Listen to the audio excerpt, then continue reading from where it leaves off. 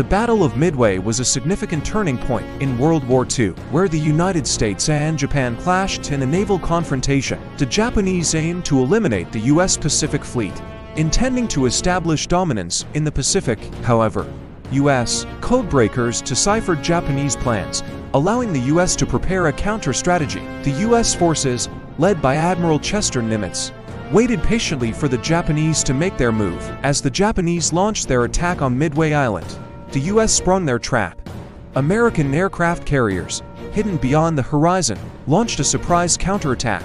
The U.S. forces targeted and incapacitated four Japanese aircraft carriers, turning the tide of the battle in their favor. The Battle of Midway shifted the balance of power in the Pacific, marking the beginning of the end of Japanese expansion.